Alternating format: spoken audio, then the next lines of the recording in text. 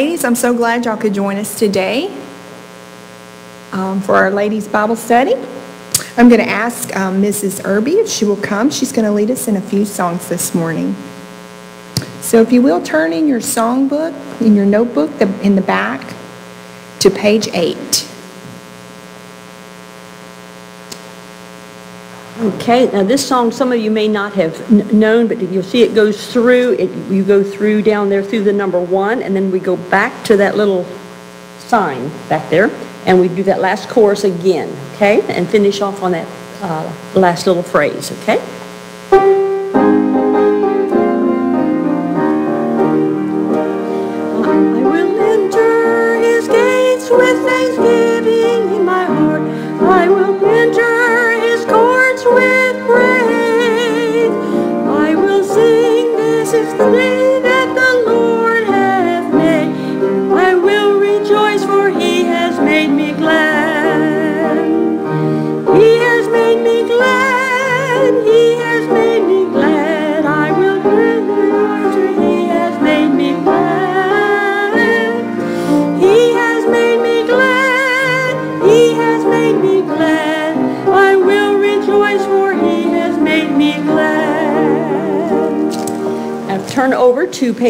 11. I am so happy, and here's the reason why. I think it's all of us probably knew that as a child. Okay?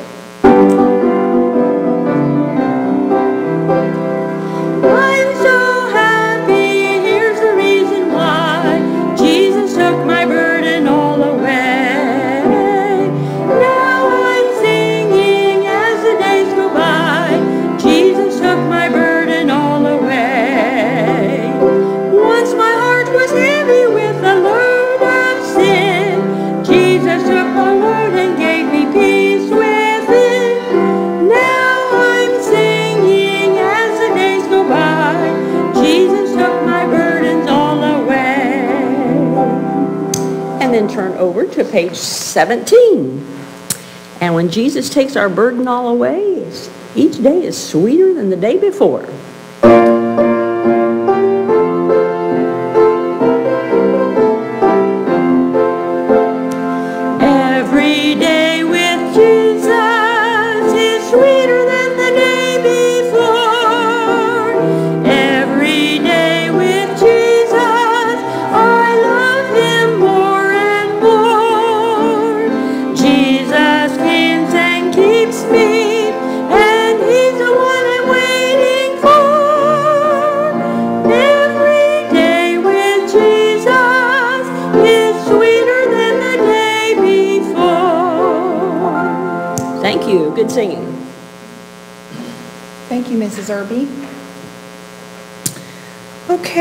We're going to get right into our lesson this morning.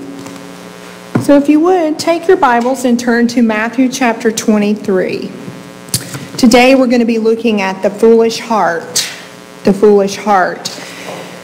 Last time we met in February, we talked about the wise heart and how we need wisdom in everyday life. How that um, wisdom is much more than a collection of rules related to our own preferences and traditions. And today we're going to talk about, um, continue that study on the heart, the foolish heart. And we're going to be talking today about the, the Pharisees. And, you know, as we get into our lesson, we need to be thinking of ourselves. We don't need to be thinking of other people in our lives. We need to be pointing the finger to me. How does this lesson apply to my life? I had to do this as I was studying. Um, a lot of times, you know, we're unfortunately thinking about other people when we are listening to preaching or teaching. We're not thinking about our own lives and how we need to change. And if you'll develop, try develop to develop a mindset of when you come to church or when you come to a ladies' meeting, um, a ladies' conference, um, anything where there's um, God's word is being opened and being taught.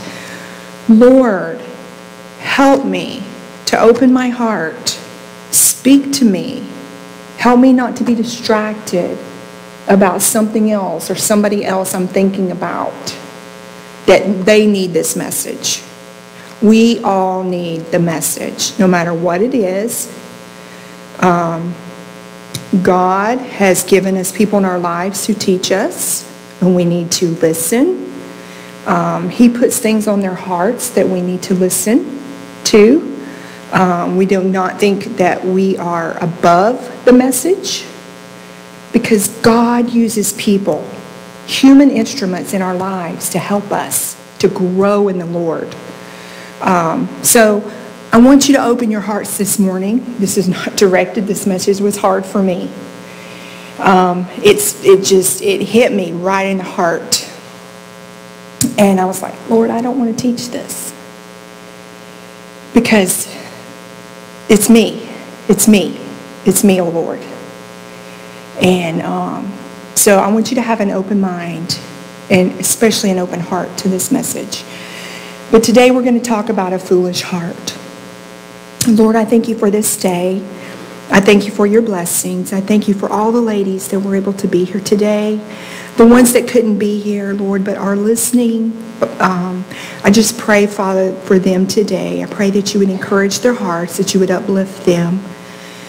Lord, I pray, heart is racing right now, and I pray that you would just calm my nerves.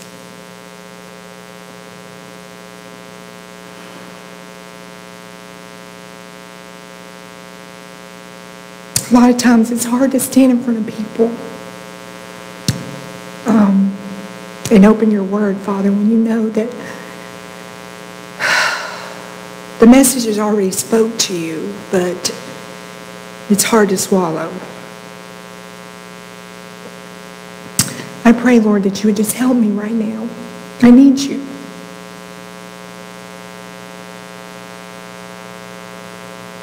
I need you to be with my thoughts, Lord. They are scattered. I need you, Father, to be with my mouth. Help it to be guarded. Help me to say only, Lord, the things that you would have me to say. Cleanse me right now, Lord, from any sin in my heart. Lord, help me to look to you for my strength today. And Lord, I pray that you would just bless and just guide, Lord. Just help us, Lord, to listen, to apply, to obey. We just thank you for your precious word. Lord, so many times we take it for granted. We don't uh, read it. We don't study. We don't apply. But most of all, Lord, we don't obey. I pray, Lord, that you would change that in our hearts. That you would help us only do those things that are pleasing to you, Father. I just thank you, Father, for all that you've done for me in my life. I'm not perfect. I just want to serve you with a whole heart, and I pray that you would help me to do that today. In Jesus' name I pray. Amen. Okay, at the top of our pages today, you see Psalm 107, verse 17. The Bible says, Fools, because of their transgression and because of their iniquities, were afflicted or are afflicted. And today, like I said, we're going to be looking at the scribes and the Pharisees. And the Lord said unto them, Why do you Pharisees make clean the outside of the cup and the platter, but your inward part is full of ravening and wickedness. Luke 11:39. So today we're going to talk about what a foolish person is. Think in your mind, what is a foolish person? I wrote down some characteristics of a foolish person from the book of Proverbs. The Bible says they are wise in their own eyes. I'll try to go slow to help you um, be able to write down the notes. But these people are wise in their own eyes. Proverbs 12, 15. They will not listen to wise advice. They will not listen to wise advice. Proverbs 3:35. Proverbs 3 35. The next thing is they make a mock of sin. They make a mock of sin. That's Proverbs 14 9. Proverbs 14 9. The next thing that I wrote down, they are careless in their speech. They are careless in their speech. Proverbs 14 7.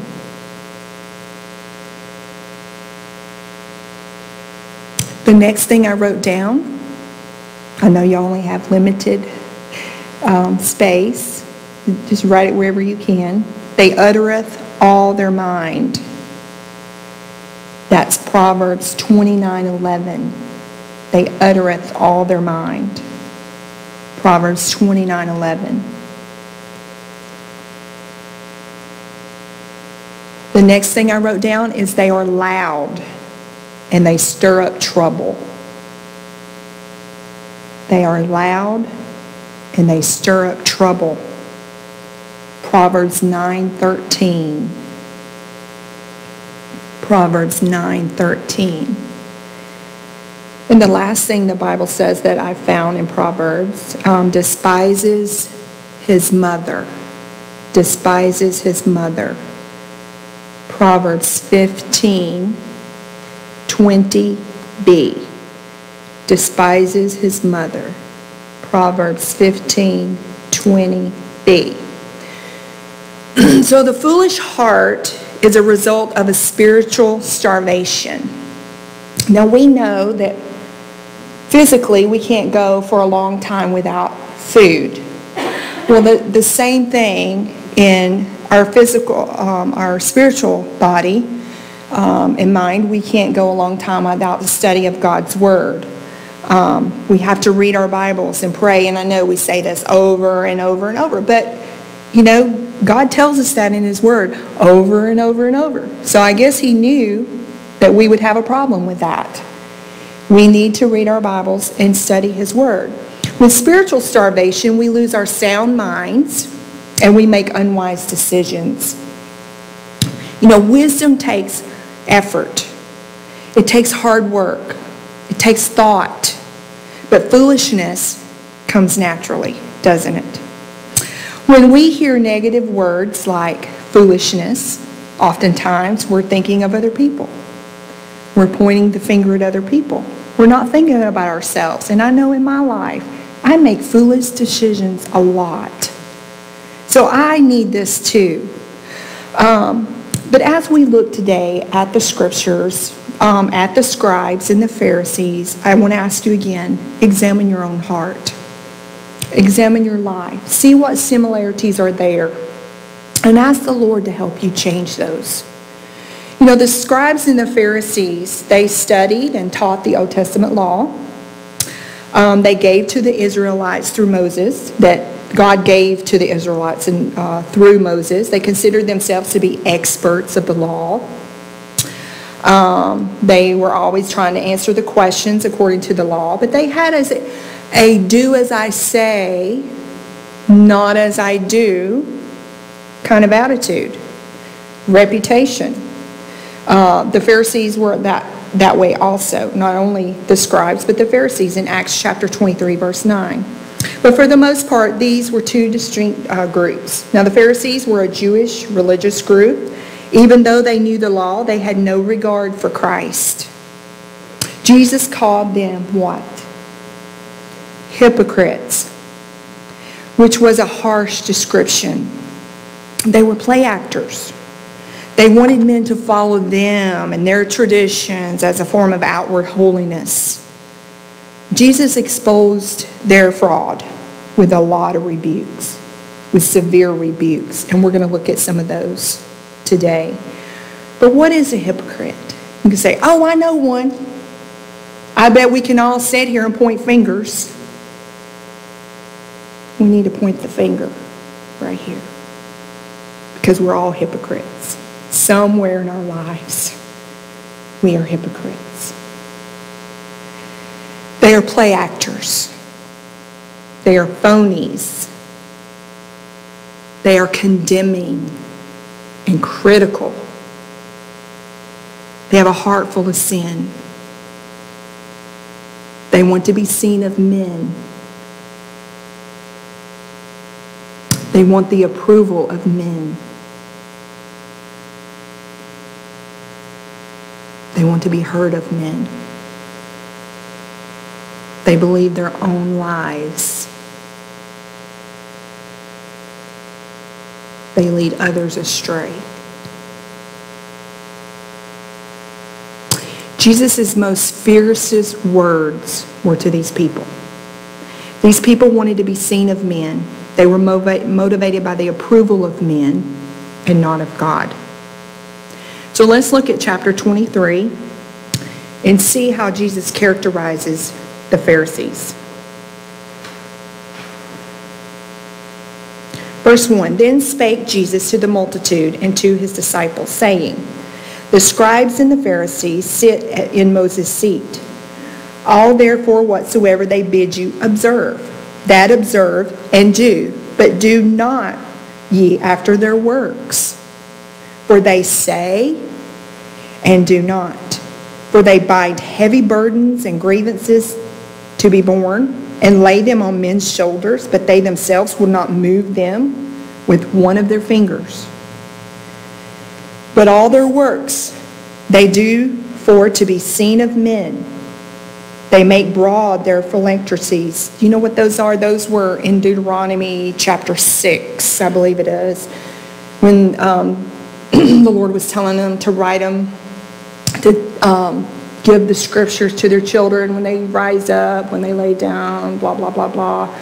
Well, the, these were boxes they were to wear on their heads, leather boxes, and inside they had the scriptures in them.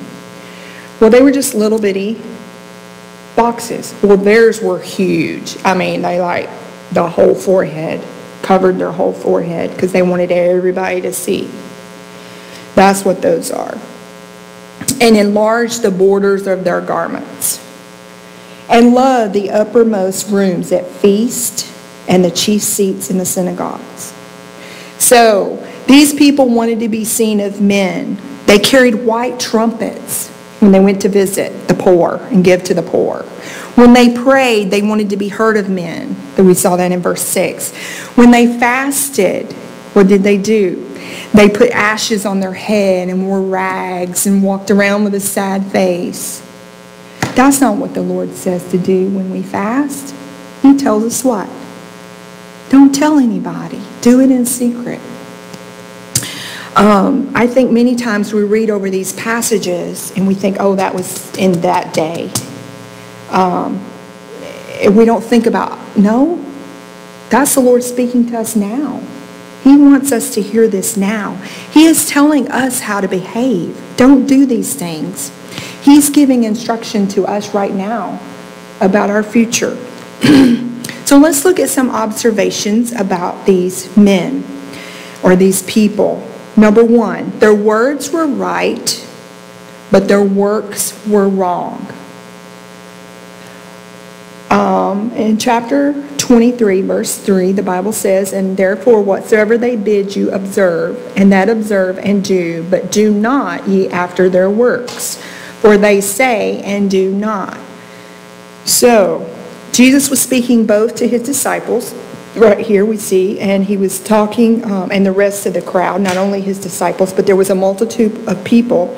And when he told them to follow the instructions of the scribes and Pharisees, but he was telling them, you know, you follow, not everything is bad about these people, right? But there are things that are bad about them. They say one thing and do another. How oftentimes are we like that in our lives? We say one thing and we do another. And you know, these these men um, or these this crowd, the multitude there was probably thinking, okay, I'm a little confused. These are religious people, um, especially for the people that put them on a pedestal. How many times do we do that? We put people on a pedestal. Our pastor, You have to be very careful. How many of you can raise your hand? Don't. Can say, oh, I know of a pastor that used to be, but he fell into sin. He ruined a church. I've known many. I haven't been saved that long. And it's a sad, sad day. But we're not to follow men because they're human, correct? Our pastor is a human too. He makes mistakes. And we don't need to put him on a pedestal. We need to respect him and his authority in our lives. But he's just a human. He's just a man. He's God's man. But we need to be careful when we put men on a pedestal because they will fall. Not all of them will fall. Many will fall. So we cannot put them on a pedestal. Um, the people were wondering, how can these people be wrong? They're our leaders. They're in charge of so much. And they're teaching the law of Moses. Um, but in verses 4 through 12, let's go on, start at verse 8. But ye not, but be not ye called rabbi, for one is your master, even Christ, and all ye are brethren. And call no man your father upon the earth, for one is your father which is in heaven. Neither be ye called masters, for only one is your master, even Christ. But he that is greatest among you shall be your servant. And whatsoever shall, and whosoever, excuse me, shall exalt himself shall be abased. And he that humble himself shall be exalted. exalted. Jesus explained the inconsistencies of these men, and it is safe to say that they had issues. Lots of issues. But we do too. We as Christian ladies have a lot of issues. We may be in denial. We don't want to face them, but we have them. These uh, charges Jesus brought against these men are common to everyone men, women, everybody. We are prone to these same behaviors pride and motives. What is your motive for serving the Lord? Motives for serving the Lord? So this passage of Scripture is a warning. Also, it's instructional to us. We have to be careful. Number two, the scribes and the Pharisees hindered others from coming to Christ. They hindered others. In 23:13, the Bible says, But woe unto you, scribes and Pharisees, hypocrites, for you shut up the kingdom of heaven against men. For you either go in yourselves, neither suffer ye that are entering to go in. What a contradiction. Or, you know, these they hindered people from becoming Christians. And ladies, we can do the same thing by being hypocrites. When the scribes and Pharisees were teaching, they left God out of it. They shifted their focus to their traditions. And we do the same thing, don't we? Well, we've always done it this way. Do you know how many times I have heard that over the years? It's a tradition of man, people. Tradition, trad- traditions come and go. It's okay if we don't do things the same way, right? Yes, it is. When we become so focused on things that Satan wants to get us distracted with in the church, people are dying going to hell. But we're so focused on the color of the carpet or we're so focused on the flower arrangement. God forbid anybody change anything in the church. God forbid if anybody changed the Christmas banquet or whatever you want to name it. Name it. Ladies, our church is not going to grow if we are standing on tradition. We need to be open to God's moving people that walk in this church that may not be saved. But we're going to fuss and fight over things like this. We are never going to see people saved with this nitpicking little junk that, that tears up the church. Think about it. It makes me angry. We're never going to win the lost. It hurts my heart. When we sit in our little pews, we won't go to the next side of the church and talk to people, visitors, because we're too proud. We're too busy. Our church is not going to grow. We're not going to see people saved and discipled if we let this stuff get in the way. That's where my heart is today. The traditions of men is killing churches. It's killing it. All over America, churches are closing every day because of nitpicking traditions. Traditions are good, but when they are not focused on winning the lost, then we have lost our focus as a body of believers. So we need to be careful. We need to be careful. These people shifted their focus on their long list of traditions. The habit of measuring on the minors kept people from coming to Christ. It kept them under the heavy weight of the law. Think about you. If you grew up in a different religion, some of you may have this morning Catholic, Muslim, and the day you got saved and you were free from all of that religiosity, aren't you so much happier? Because Christ broke those chains of tradition you don't have to go and pray to a priest. You know? That's what we're talking about. Traditions of men. That's what Christ was trying to tell them. Because they were unbelievers. These people were unbelievers. They were not interested in the kingdom of heaven. And I'm afraid that's where we are today in our Christianity. We're not worried about lost people. We're not worried about our church growing. We're not worried about new visitors coming in. We don't even invite people to church. I'm afraid that's where we are a lot of times in our walk. Missed opportunities every day of our lives. We're unfocused. We are hindering people from coming to the Lord. So allowing these people to follow God would have taken the attention off of them um, and the people would have cast doubts on their tradition. So they made it hard to find God, and they made it easy to follow them.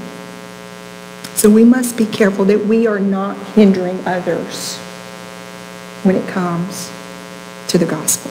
Number three, the scribes and Pharisees were blind guides. Verse 24, verse 24 says, You blind guides which strain at a gnat and swallow a camel. So used to, in, in back in that time, they would strain their drink so they wouldn't get a gnat in it. That was part of their tradition. It made them holy, I guess. But they would swallow a camel. They wouldn't even see the camel, they would just swallow it. That's what he's talking about here. What a uh, contradiction it is. They were blind guides. How can a person that is blind be a guide? I was sitting, I was thinking about that. I was like, okay. Well, this is another um, way of calling a person a know-it-all. When in reality, they are just pretending to be wise. Usually, these types of people show their ignorance. Just wait a while when you talk to them. They show their ignorance. Even though these scribes and Pharisees were dishonest in their um, guidance, people continued to follow them. I wonder why. Well, we are the same way. Religious leaders who hide behind their positions to keep people from questioning them. Think about this. Leaders who hide behind their positions. Don't question the pastor. Says who?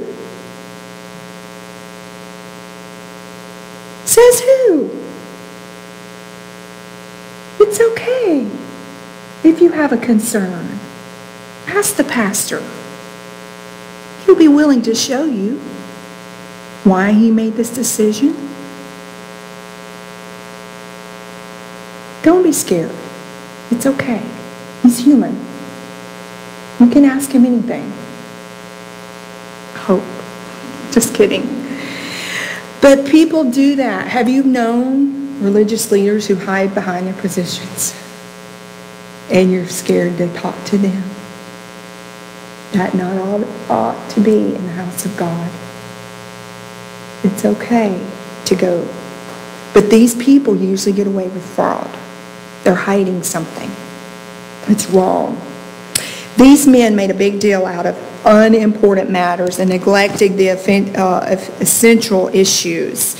When Jesus called the scribes and Pharisees blind guides, he was saying they couldn't see well enough to lead anyone. They were masters at making things up and leading people astray. So we need to be careful in our lives that we are not blind guides. You know, people are watching you and me. They're every day they're watching us. We may not believe it. Our neighbors, they're peeking out the window. They're seeing what you're doing. Everybody's going to go home and close all their curtains. but I'm serious. People are watching us, and we need to be careful that we're not leading others astray. Number four, they were pretenders verses 27 and 28, the Bible says, Woe unto you, scribes and Pharisees, hypocrites, for ye are like unto whited sepulchres, which indeed appear beautiful outward, but are within full of men, dead men's bones and of all uncleanness. Even so ye also outwardly appear righteous unto men, but within ye are full of hypocrisy and iniquity. So, there's a tendency for us as Christians, I'm guilty, of having um, our own little grading system. And we unconsciously score ourselves and others as well. Let's check off the blocks. Well, I go to church on Sunday, I go to Sunday school, I go to Sunday morning, I go to evening service on Wednesdays. I teach a Sunday school class. I do bus ministry. I work in master clubs. I do the ladies' fellowship.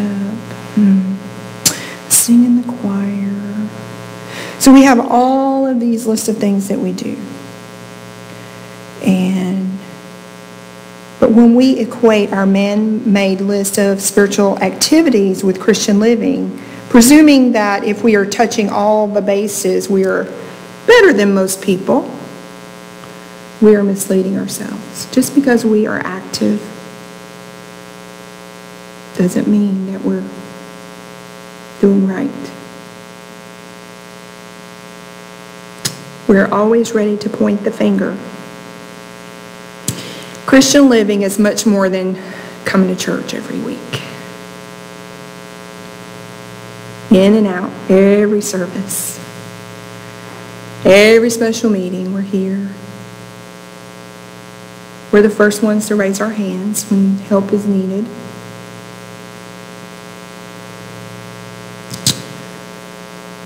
But we have to remember that we have to be yielded to the Lord. That's what our relationship with Christ is about, our yieldedness to Him. Know, God designs the pattern for our lives. And He defines he defines what is acceptable in our lives. God, His Word, not what we think, not our opinion. Um, calling someone in the Bible a, a white sepulchre was not a compliment. When Jesus rebuked these men, he used word pictures to do it and to emphasize um, his pure dislike with their insincerity uh, insincerity, sorry. Jesus was pulling back and revealing the backstage of these lives, these pretenders. Christ could um, see the true motivations of their foolish hearts. These evil people were pretending to be godly. So whatever, what is our motive for serving the Lord? Why do we come to church every week, every time the door is open? Think about it. Why do you do it? Now let's make application to our own lives. Number one, our actions and words should be consistent. Luke chapter 12, verse 1 says, In the meantime, when there were gathered together an innumerable multitude of people, insomuch that they trode one upon another, he began to say unto his disciples, first of all, Beware ye of the leaven of the Pharisees, which is hypocrisy. Our relationship with Christ should affect our lifestyle. We just heard that. Well, well, my husband's been preaching on it for a while. The closer we are to Christ, the more we desire to display characteristics that resemble Him. We are to be, you know, He's conforming us to His image if we wanted to, if we let Him. If our relationship with Christ is shallow or superficial, we will be more inclined to inconsistencies in our behavior. We have to remember again that people are watching us. Our children are watching us. Our grandchildren are watching us. Our neighbors are watching us. Our coworkers are watching us. They see the inconsistencies in our lives, in our behavior. And, you know, one of the most, um, I guess you would say, most frustrating in um, messages that we can send out to people is do as I say, not as I do. How many of you have heard that maybe from people in your own lives? I hate that saying, you know? It is hurtful. If our lives do not line up with our message, then we qualify for the same title that Christ gave to these people hypocrites. Pretending to be godly and holy just because we're keeping some kind of mental checklist that's not the same as living a godly life. You can fool others. I can fool others. But we cannot fool the Lord. He sees us. Everything we do, everything we say, every part of our life, God sees. Godliness is in, in, eternal. It's internal. It's not like putting on a piece of clothing. It's deep in the heart, being godly. Number two, we do not, uh, we do not want to become human roadblocks to salvation.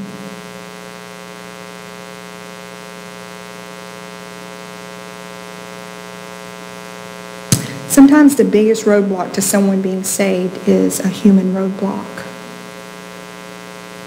If you're trying to win somebody to the Lord, you need to be consistent in your lifestyle.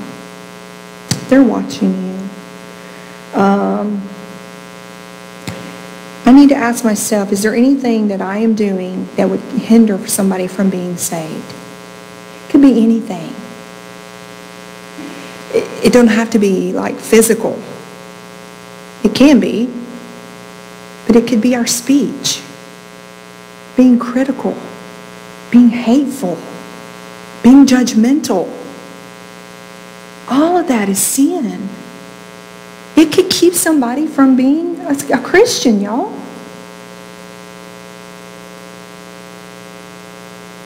For winning somebody back from, um, who's backslidden, our speech could cause him not to come back to the Lord. We have to think before we say things and do things.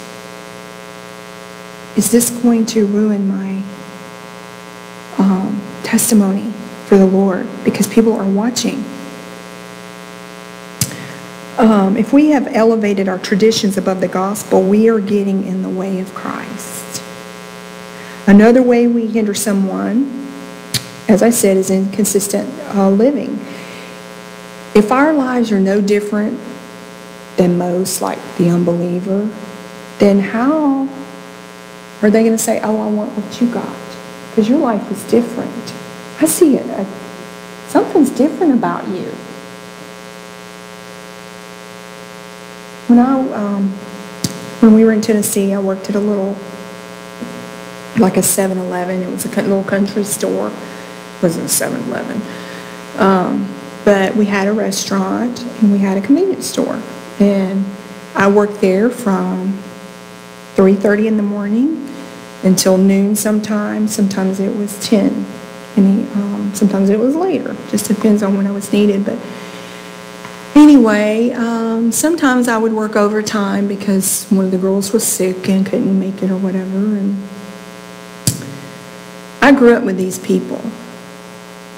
They knew me before I got saved. They knew that I partied, that I was a druggie, that I drank, because I used to do it with them. They knew me. That's not something I'm proud about. But it allowed me to be able to share my testimony with them, and one of them got saved. But the longer I worked with them and I listened to their smack talk and their what they did on the weekends and then they would come in on Monday morning dragging, not wanting to work, you know, it was like pulling teeth to get them to do stuff at work and um, they were like, well, what did you do? I said, I went to church. I served the Lord yesterday, our family. And, well, oh, do you think you're better than me? No. You know. You know how I used to be. And you can be that way too. You can be like me. You can have a joy and a new life in Christ. So they watched me for a long time. They even, one of them even offered me drugs. And um, I'm like, no, Jesus Christ changed my life. And I never want to do that again. And so I said, why don't you come to church with me? And um, she's like, well, I'll think about it. And her life was a mess. She was in and out of rehab all the time. And she had two children. She couldn't take care of them. I just really had a burden for her. I just prayed for her every day that the Lord would help me to be consistent walk the talk. Because it was hard when you're, you know, if you've ever been in the setting where you've got lost people all around you all the time. It's difficult. But she came to church with me and she got saved. And I worked with her and discipled her. Unfortunately, she chose to go back to drugs, ended up in rehab, and I hadn't heard from her since. But people are watching us, and we don't want to become a roadblock. So we have to be careful. Is there anything I'm doing that would cause a person from wanting to be saved? Um, we have to be consistent. If we are born again, we are new creatures. We should not live like the world. We are different now. We are ambassadors for Christ. We are uh, represent the Christ, um, the interest of Christ in Christianity. Number three, without Christ leading us, we will make poor guides ourselves for others. And he spake a parable unto them in Luke chapter 39. Can the blind lead the blind? Shall they not both fall into the ditch? When there are inconsistencies in our lives, we have to um, have the potential to infect others with our examples, just like we were talking about. We can easily become blind guides with critical spirits, picking apart things we think others are doing wrong. You know, we can sit around and gossip about people all the time. We don't need to do that, ladies. It's none of our business. If we are not part of the problem or part of the solution, we need to keep our mouth shut. Correct? Don't get involved with gossips. That tears down the church. That hurts people. We need to be careful what we say. We have to be careful with our critical spirits and picking people apart. You know, we can point the fingers at everybody else, but like I said, we need to point right here. Because we are not perfect and we have inconsistencies in our life that we need to get right before we're pointing at everybody else. Everyone has a circle of influence, like we said. Friends, family members, co-workers, they're watching us. They're watching our lives. And um, and absorb our messages that we're getting, giving them. Um, even our behavior speaks. And we may be leading others in the wrong direction unintentionally, you know. Um, but the outcome is the same. We sow seeds of confusion. Like our children, they see us do one thing, we say another. Um, we have to be careful because they know. They know when we're real. Um, 1 Corinthians chapter 11, verse 1, Paul made a bold statement. What did he say in that verse? He said, Be ye followers of me, even as I am also of Christ. So we need to ask ourselves, would it be safe for somebody to follow me? Would it be safe? Number four, hip, hypocritical living is pharisaical. Pharisaical. Pharisaical. Say that fast. Can you spell it? No. Ye hypocrites, well did Isaiah prophesy of you, saying, This people draweth nigh unto me with their mouth, and honoreth me with their lips, but in their heart, their heart is far from me. But in vain they do worship me, teaching for doctrines the commandments of men. Matthew 15, 7 through 9. Now, don't you love it when people are just real? I do. I hope I'm real to y'all. I hope I'm not a fake. I hope you don't look at me and say, oh my gosh, you're such a fake. I know people like that right now. It makes me sad. It breaks my heart. Just be real. I think I taught a Sunday school class on that before. Just be real. People don't like fakes. And I told y'all when we came here, what you see is what you get in me, in the Lord. In the Lord. I'm not perfect. I'm not a perfect pastor's wife. I never claimed to be. But I want to be real. I don't want to be a fake person. You should be want to be real too. A lot of people turn people off because they're fake and they're roadblocks by being fake. Pretending to be righteous while holding to a performance-based list of activities characterizes pharisaical, I can't even say it, pharisaical living.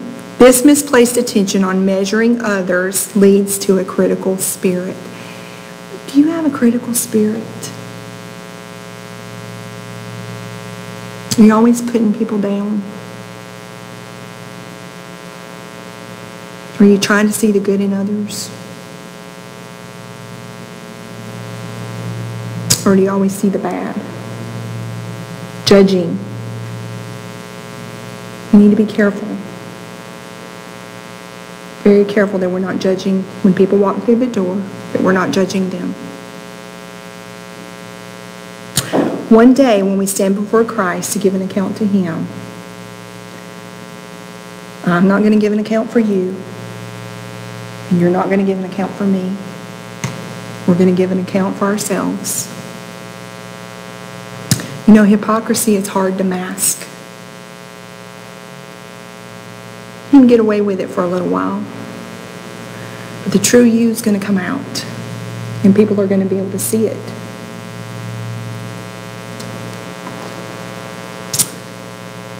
I'm going to share this with you when we were in Japan.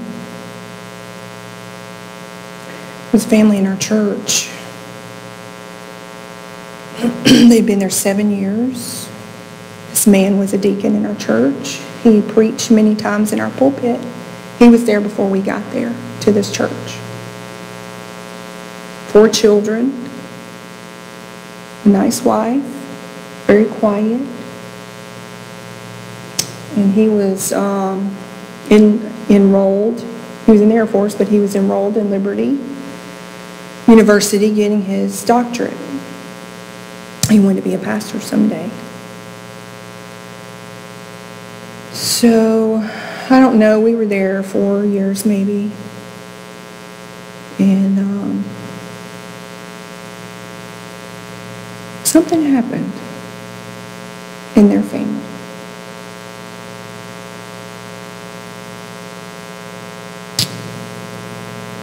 They um, were different. They started acting differently. His, um, his behavior changed. His wife's behavior changed. And one night, they were at a restaurant out in town, him and his wife having dinner. And one of our other families, who was a Japanese family, um, the daughter was in our Christian school, they were at the same restaurant. She was a teenager. She was 16 years old. She was half American and half Japanese. And a few weeks after they saw this family at the restaurant, she came to me. She was just crying her eyes out, so upset. And I'm like, what is wrong with you? She I got to tell you this. I can't do this anymore. I just got to tell somebody. I can't keep it in. I said, okay. Well, I saw this family, this man and his wife, and you know them. And they were drinking. They were drinking alcohol. And I don't understand. He's a preacher. He's taught our Sunday school class. She was just destroyed overseeing them drink alcohol when he has preached against it himself.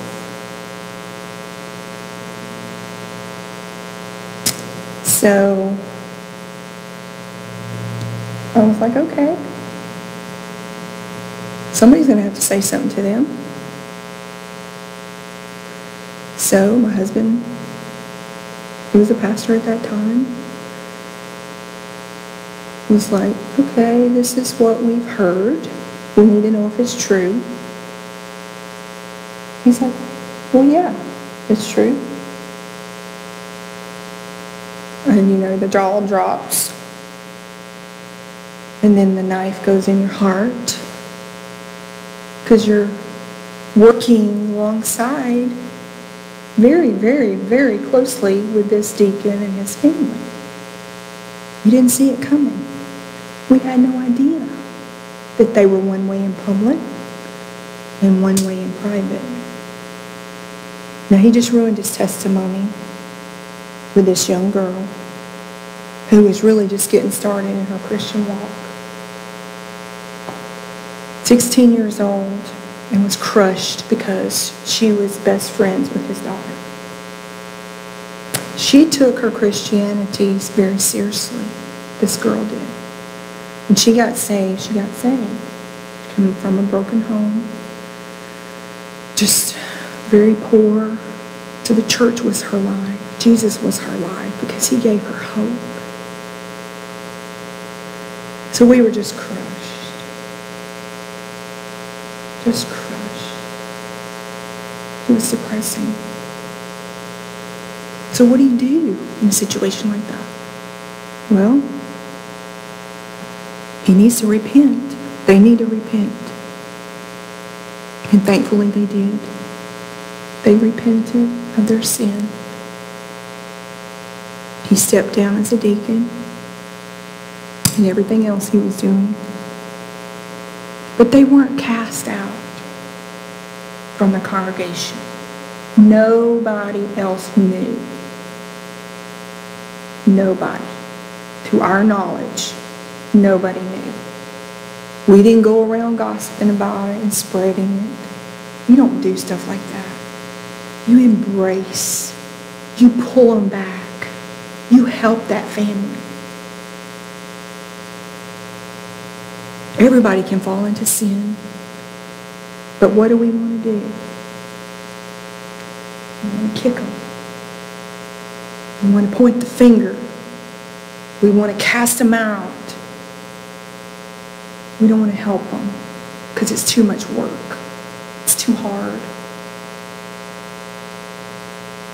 Sadly, after they left Japan. The wife and husband divorced. She didn't want to be married to a preacher. She wanted her freedom. But he is still serving the Lord today. She's not. Their children were very hurt by everything because they saw, they, they knew the inconsistency of the mom and dad in the home and how they pretended at church. So their lives were, were a wreck. None of them are serving the Lord to my knowledge. I still keep in touch with their daughter. But the inconsistencies and being a hypocrite is real. And we have to fight against it, ladies. Because people are watching us, even when we think they're not. Our children are watching us. They know when we say one thing and do another. Do you want your kids to serve the Lord for the rest of their lives? Then be consistent. I'm not saying they won't go their own way. They will. But they will come back if they are accepted and loved and cared about and not judged. But we have to be careful because those little eyes, big eyes, whatever, are watching us. And they know if we're hypocrites. They can see it a mile away. So we just have to be careful that our lives are consistent, that we don't have uh, contradictory behavior. Our relationship with Christ affects our behaviors and our beliefs. If we have a shallow relationship with the Lord, then our interactions with people will be shallow, they will be superficial, and they will be conflicted. Just be real. Just be real. If we can um, think we can fool people with our hypocritical living, then we are mistaken. Even, like I said, young people know if we're real, if we're genuine. Hypocrisy breeds an imbalanced person with an inflated sense of self-importance. This is why hypocrisy and entitlement often go together. When we are not meek and lowly, we will struggle with thoughts of being high and mighty. This is a form of spiritual warfare that we're going to battle for the rest of our lives. We're going to battle this for the rest of our lives, being a hypocrite. And I heard for I probably even said it before I was saved in my own life. But I remember going to school with girls when I was like in my senior year of high school. We had gone to school with these kids since I was in kindergarten. And oh, yes, they were so spiritual, but I knew what they were doing. I knew what they were doing. They were doing some of the things I was doing as a teenager. Yet they were in church every Sunday. They were at Bible study. They were at kids club. But they weren't living for Christ. So it's important that we teach our children also. You need to do the right thing. You need to walk the walk, walk the talk. You know, be careful. Don't be inconsistent. So this, um, like I said, this is gonna, this is one of the spiritual battles that we have to engage in constantly being a hypocrite. The risk of developing a foolish heart exists at any stage of life. The power of peer pressure is not only limited to the teenage years. And our choices of friends will always matter. Be careful who you're friends with because they will lead you astray. The scribes and the Pharisees were humans. They suffered the same flaws as we do today. But we need to be reminded that um, it's a continuous battle. When it, uh, when it matters to God what God thinks in our lives, then we will make wiser choices and decisions. We have to examine our hearts regularly and look for any signs of foolishness and hypocrisy. We need to write them down. We need to pray about it. And I started a list. Um, am I a hypocrite? Ask yourselves these questions. Do I know the truth, but I fail to obey it? Is there anything in God's Word that He has told you and you're not doing it? Then you're a hypocrite. Let that sink in. He's told you something you shouldn't be doing and you're doing it, then you're a hypocrite. Are you able to do things that are right and good without letting others know? Or do you have to tell others what you've done? Oh, please put my name in the bulletin because I did this last week. I've heard people say that. Really have. Do you live a self-serving life? Do you love leadership position and control? Not because you want to serve others, but because you want the pat on the back. Or uh, do you reduce your faith to rigid rules? Oh my, we got to obey the rules. If we don't, we got to tell them. We have to obey the rules so rigidly.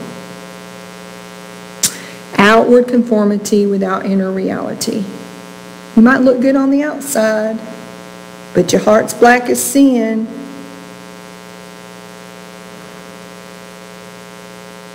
You know somebody like that? Is my private life consistent with my public image?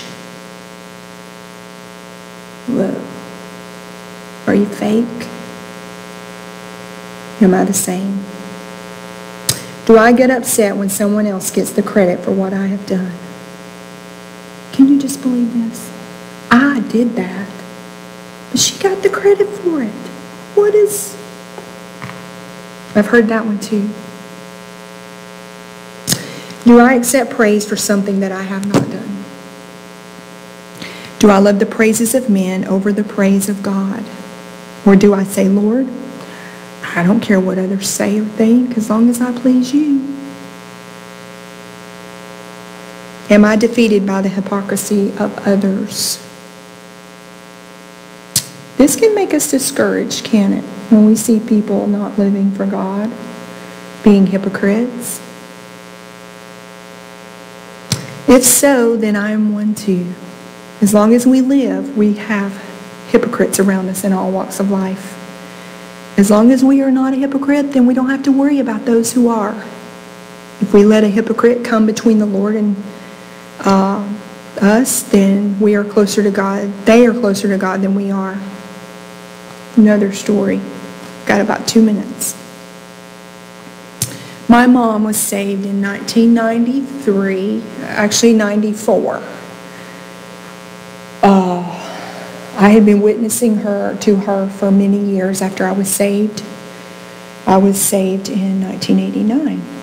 So all those years I've been witnesses to my mom. We were in Japan, stationed there, and she was in Tennessee.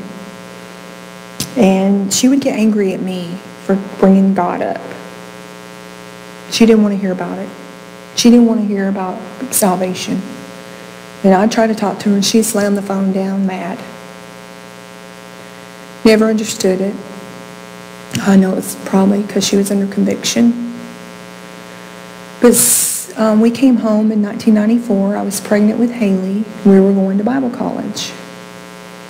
And so I asked mom if she would come and stay with me or stay with the kids while I delivered Haley. And she agreed, which I was very surprised because my mom doesn't go anywhere. She said she would come. And um, I said, you know, we'll be going to church, so if you want to go with us, you know, bring your Bible, if you have one, whatever. Um, but I just wanted to let you know that. You're welcome to come with us. She's like, okay. So anyway, she knew, you know, we were um, going to church that Sunday. So she got there. We spent the whole week together. And um, I was really pregnant with Haley. And we, we went to church that Sunday. And I told our pastor a few weeks before, I said, um, my mom's coming. And I'm praying that she'll come to church with us. I invited her. And I said, um, will you preach a salvation message if you see her, you know? And he's like, well, I always do. And I'm like, well, I know that, but if you see her walk in with us, I don't know, say something that might urge her to get saved more. He's like, okay, okay. So the whole church was praying for my mom.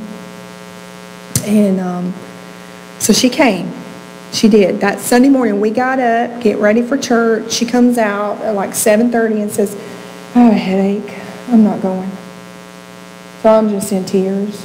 because She told us the night before that she was going to go. She didn't go. I mean, she did go. She came back out and was ready when we were fixing to leave. So I was so excited. and I was just praying, oh Lord, please save her, please save her. And so um, we got through Sunday school, and everybody was really friendly to her and nice. And so we were sitting on the third row from the pulpit, and um, our pastor preached a great message that morning, and, and the invitation started. And um, just as I am, and she didn't move. The first verse, she didn't move. The second verse, she didn't move. And I'm like, I heard people sniffing, like crying. So that got me started crying. And it's like the whole church is crying, right? Because they wanted my mom to be saved. And so the third verse, she didn't move. So on the fourth verse, I mean, I was just a squalling. And I was like, this might be her only chance. So I grabbed her hand and I just held it. And she leaned over to me. And she said, I want to get saved. So she went down forward and I asked my pastor's uh, mother. She was sitting in the next pew over. I went and got her. I said, will you deal with my mom? She's heard it from me so many times and she's just hard. So she led my mom to the Lord. That was in 1993. So I'm so excited. Get her back home. What are we going to do? We need to find a church. A church on every corner where I'm from. But they say they're a church, but they're really not. So I was like, hey, Lord, you got to provide a church. You got to provide somewhere for her to go. So we did find a little church. They um, rented a storefront I knew the guy. Uh, my brother went to school with him. Um, his daddy was a preacher, a very good preacher. I used to go and hear him when I was smaller and growing up. And um, Pastor Shutt was his name, and um, his son was a preacher. So he was starting a little church. So mom went, and my sister went with her. My sister had been saved the year prior. I led her to the Lord. And um, so I was so excited. I went with him, And um, he preached the Bible, very strong preacher in his 30s. And um, so mom was going. And she was praying about getting baptized. She's so scared of water. She never went to the creek with us or anything. She just could not stand to be around water. So I was like, Mom, you really need to be baptized. You know, you really do. It's just a obedience to the Lord. It's the next step. It's to, you know, you need to grow. You need to get baptized and join a church. So she built up her, you know, she's like, okay, I'm going to get baptized. It's like, oh, wonderful. So I'm going to go down there. We were in Chattanooga. She lived an hour and a half from me. I'm like, okay, we're going to come for your baptism. So we went for her baptism. She got baptized. She was going faithfully. About six weeks later, huge, huge, just dagger in my heart. Pastor ran off with the secretary. It killed my mom. She was so excited about that little church. She was growing. My mom has not set stepped foot in church again. I'm not saying she's right at all, because she's not. But she's like, he was a hypocrite. can't trust. And I kept telling her, Mom, you can't let that keep you from going to church. Because there's hypocrites everywhere, and you're a hypocrite, and I'm a hypocrite. In some way, I'm a hypocrite. And I said, you can't, you're going to answer to God. You're not going to answer to these hypocrites. Still today she will not go to church. So we need to be careful. We not, may not be outwardly involved in a huge sin, a little sin, whatever. But the sins of the heart often will make us hypocrites. Our speech, criticizing people, judging people for the way they look, the way they dress.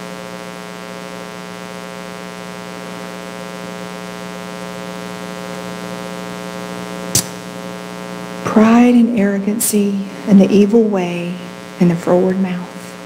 Proverbs 18:13 are the sure signs of a foolish heart. So I hope that we will take what we've heard today and heed it. Just be real. And pray, Lord, if I'm being a hypocrite, show me. Help me not to be one. Because we all have a tendency to be one. We must take heed.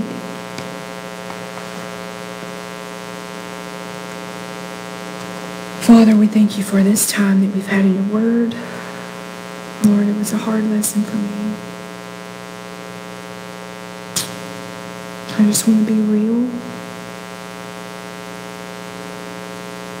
just want to please you with my life. And I pray for all of us, Lord, that we would want that same thing. That we would want to not be a roadblock, not to be a blind guide, to live consistently with the Bible, not to think we're high and mighty because we do live by the Bible, but just be real so we can reach people, not to be a hypocrite, not to be judgmental or critical. Lord, that's being a hypocrite. Help us to love people, Lord Because they're dying and they're going to hell. Help us, Lord, to, to love you. We say we love you with our mouth, but many times our heart is far from you. And I just pray, Lord, that you would help us to be the right Christian, the one that honors you with our lives. So many that don't, that say that they are. Just help us, Lord. None of us are perfect, Lord. But a lot of times we think we are. We say that we're not. But our actions, Lord, they don't line up with your word. We don't obey your word. I just pray, Lord, that you would just help us with this continuous battle. We pray for our church, Lord, as a whole. Lord, we pray for new believers, Lord, that you would give us fruits for our labors. Help us, Lord, to see people saved and to grow, to be encouraged and discipled. Help us to teach them how to serve you, Lord. Just thank you, Lord, for this time. I thank you for each home that's represented here. I pray that you put a hedge about it, Lord, and protect these families. Lord, these are good women. And I pray that you would help them, Lord, to become more like you every day. And I pray for myself, Lord, that you'd help me to be a leader, Lord, that's real, that walks the talk. Lord, I failed you so many times. And you've always been there to pick me up and forgive me. And I thank you for that. We do pray, Lord, for the ones that couldn't be here today, that you would watch over them. Help them, Lord, to be able to gather next time with us, Lord. We just love you and thank you and just praise you, Lord, for all that you've done for us. You're so good. Even when we don't obey you, Lord, you're so good. Help us, Lord, now with the rest of our day Keep us safe. In Jesus' name, amen. Okay, thank you, ladies, for joining us today.